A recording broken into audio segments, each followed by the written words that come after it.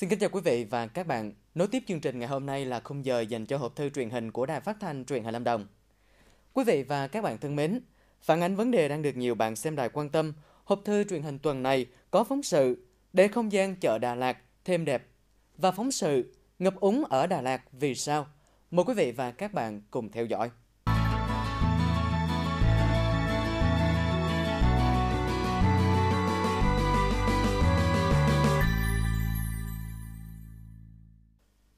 Quý vị và các bạn thân mến, liên quan đến chính sách người có công cách mạng, ông Nguyễn Trường ngụ tại huyện Lâm Hà hỏi, Chúng tôi được biết nhà nước có nghị định mới về việc nâng mức trợ cấp đối với người có công với cách mạng. Xin cho tôi được biết rõ hơn.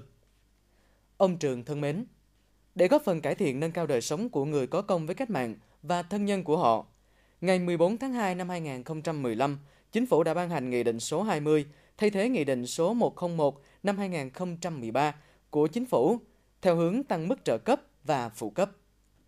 Theo đó, mức chuẩn để xác định các mức trợ cấp, phụ cấp ưu đãi đối với người có công với cách mạng sẽ tăng từ 1 triệu 220 ngàn đồng lên 1 triệu 318 ngàn đồng. Cụ thể, mức phụ cấp trợ cấp của một đối tượng người có công như sau. Trợ cấp tiền tuất đối với thân nhân của một liệt sĩ là 1 triệu 318 ngàn đồng một tháng. Trợ cấp tiền tuất đối với thân nhân của hai liệt sĩ là 2 triệu 636 ngàn đồng một tháng. Đối với thân nhân của ba liệt sĩ trở lên, mức trợ cấp là 3 triệu 954 ngàn đồng một tháng. Trợ cấp tiền tuất đối với vợ hoặc chồng liệt sĩ, lấy chồng hoặc lấy vợ khác, diện không hưởng thêm trợ cấp tiền tuất nuôi dưỡng là 1 triệu 318 ngàn đồng một tháng. Ba mẹ Việt Nam Anh Hùng sẽ hưởng trợ cấp tiền tuất hàng tháng theo mức trợ cấp tiền tuất đối với thân nhân liệt sĩ như trên và hưởng phụ cấp 1 triệu 105 ngàn đồng một tháng. Mức trợ cấp đối với người phục vụ bà mẹ Việt Nam anh hùng sống ở gia đình là 1 triệu 318 ngàn đồng một tháng. Anh hùng lực lượng vũ trang nhân dân, anh hùng lao động trong thời kỳ kháng chiến, hưởng trợ cấp 1 triệu 105 ngàn đồng một tháng. Cũng theo nghị định mới, liệt sĩ không còn người hưởng trợ cấp tiền tuất hàng tháng, thì người thờ cúng liệt sĩ được hưởng trợ cấp thờ cúng 500 ngàn đồng một năm. Trợ cấp ưu đãi đối với con của người có công với cách mạng, theo quy định của pháp lệnh ưu đãi người có công với cách mạng, không hưởng lương hoặc sinh hoạt phí khi đi học tại các cơ sở giáo dục mầm non là 200.000 đồng một năm. Tại cơ sở giáo dục phổ thông, cơ sở giáo dục thường xuyên, trường dự bị đại học, trường năng khiếu, trường lớp dành cho người tàn tật, khuyết tật là 250.000 đồng một năm. Tại cơ sở giáo dục nghề nghiệp, đại học, phổ thông dân tộc nội trú là 300.000 đồng một năm.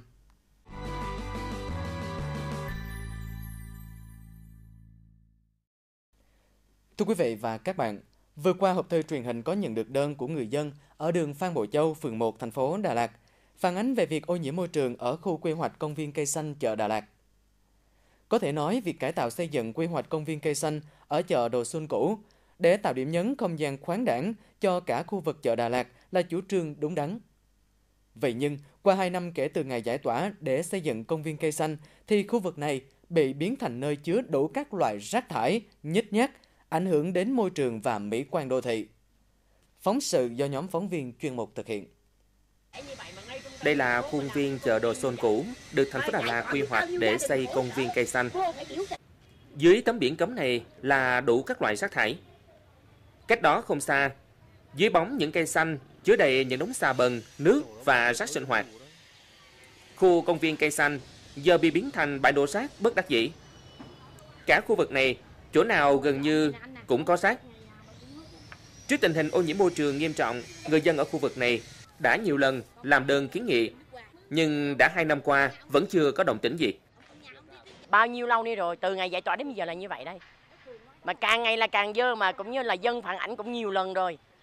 Nó vẫn là dơ uế mà, mà một cách dễ sợ như vậy này. Nằm trung tâm thành phố mà như vậy thì nó quá mất mỹ quan của cái thành phố rồi. Đó, mấy anh nhìn là mấy anh đủ thấy là là như vậy rồi tất cả à, khách du lịch hay dân địa phương gì nhìn vào con đường này người ta cũng không dám đi. Vì bây giờ nắng mưa xuống là nó như vậy mà nắng lên là nó bốc hôi lên. Vì nó quá mất vệ sinh luôn. Nào phân nào là rác là không tưởng tượng được luôn. Cái chỗ mà chưa rác cũng không có thể dơ như bằng những cái chỗ này. Nó quá mất vệ sinh. Chủ trương xây dựng một công viên xanh ở chợ Đà Lạt được người dân đồng tình ủng hộ. Nhưng không hiểu lý do gì, Ngoài một số cây xanh được trồng trên nền móng cũ, các hạng mục còn lại vẫn chưa được đầu tư cải tạo mới. Điều mà người dân quan tâm là thay vì có một không gian thoáng mát, thì nay lại trở thành điểm tập kết rác mà không thấy ai quản lý, nhắc nhở hoặc xử phạt. Rác thải vì thế ngày một nhiều.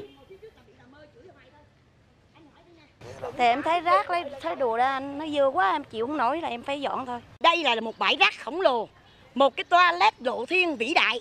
Hở ai cần giải quyết là họ cứ đi ở chỗ này mà mà như vậy. Đấy, cho nên cái mùi hôi thối và ô nhiễm môi trường bà con chịu không được. Khu vực công viên giờ đã bị biến thành điểm tập kết rác gây ô nhiễm môi trường. Đó là những vấn đề mà Ban nhân dân thành phố Đà Lạt đã giao nhiệm vụ cụ thể cho công ty trách nhiệm hữu hạn một thành viên dịch vụ đô thị Đà Lạt.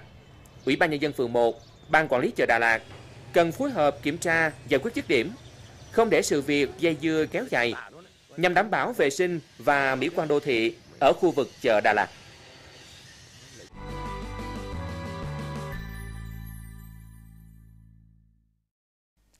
Thưa quý vị và các bạn, mặc dù nằm ở địa hình đồi cao, nhưng mấy năm trở lại đây, cứ sau mỗi trận mưa lớn ở Đà Lạt lại xuất hiện tình trạng ngập úng, gây ảnh hưởng đến cuộc sống sinh hoạt và thậm chí là gây thiệt hại về người và tài sản của nhân dân.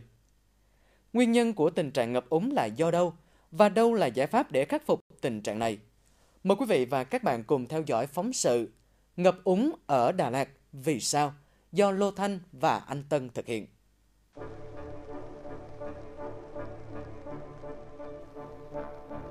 Cứ sau những trận mưa lớn, một số khu vực ở thành phố Đà Lạt lại ngập chìm trong biển nước.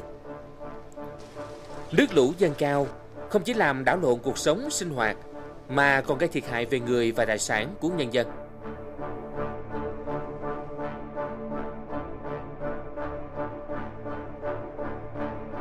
nước ao giống như cái lũ vậy đó không mấy chị em anh em là coi như là tá hỏa tâm tinh bông hoa gì là trôi hết xe cộ rồi trôi hết. Trôi bước chỉ trên đổ xuống đằng sau đổ về. Coi như là hai bốn bề là cái đổ ào ào vô là không thể nào mà trở tay kịp. Tình trạng ngập úng không chỉ mới xảy ra mà đã xuất hiện ở Đà Lạt từ nhiều năm nay.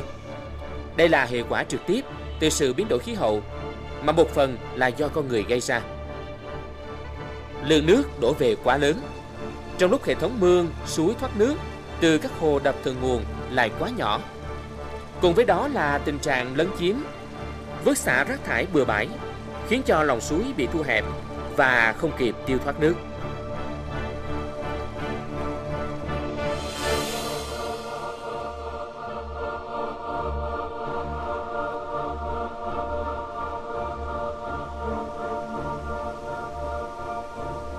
Mặc dù mới được đầu tư xây dựng, nhưng suối Phan Đình Phùng vẫn không thực hiện tốt chức năng thoát nước, đặc biệt là tại các điểm xây dựng cầu giao thông. Tại các địa điểm này, do lòng suối bị thu hẹp, nên đã hình thành các nút thắt mà người dân quen gọi là nút thắt cổ chai. Cũng là một trong những nguyên nhân gây ra tình trạng ngập úng ở Đà Lạt.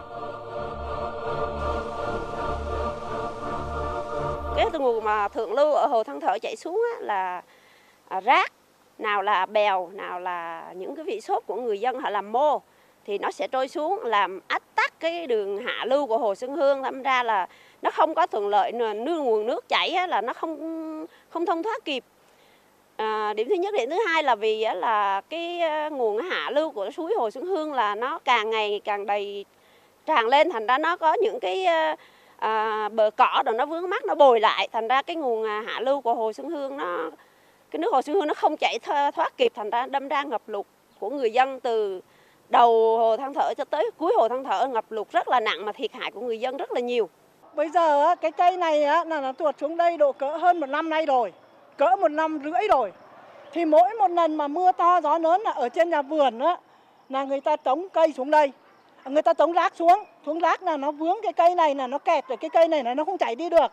Cho nên là các chị em anh em mấy anh em ở Cẩm Đô này này ở bán buôn ở đây nhiều khi là nó rất là nhiều. Cho nên là anh em cứ mang cái đòn gánh buồn lấy đòn gánh đẩy đi đẩy đi xong đến trận mưa sau thì nó lại nó lại nghẹt luôn. Đó là mấy mấy hôm nay là mấy anh em chưa đẩy. Không thể thống kê chính xác con số thiệt hại do ngập úng ở thành phố Đà Lạt trong những năm qua. Chỉ biết chắc chắn một điều rằng, cứ sau một trận mưa lớn kéo dài trong vài giờ, là tại một số vùng trũng ở thành phố Đà Lạt lại bị ngập chìm trong nước. Thành phố hiện có 20 hồ đập với 11 mương suối thoát nước.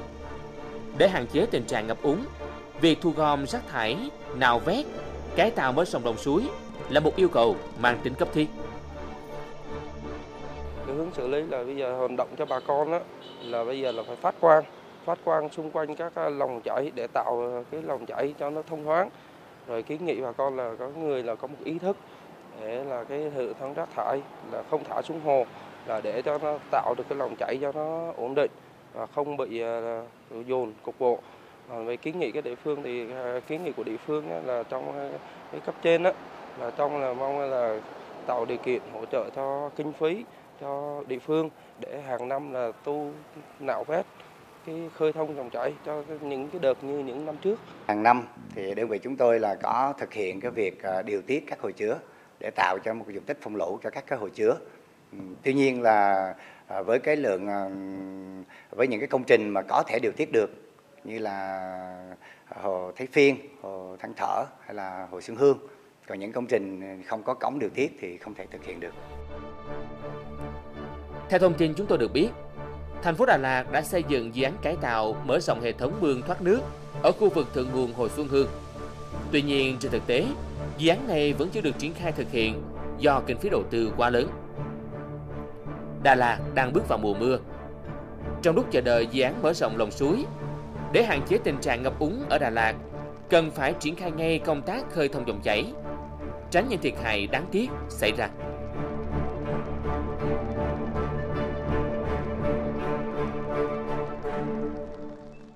Hộp thư truyền hình tuần này xin được khép lại tại đây. Cảm ơn quý vị và các bạn đã quan tâm theo dõi. Thân ái chào tạm biệt và hẹn gặp lại trong các chuyên mục kỳ sau.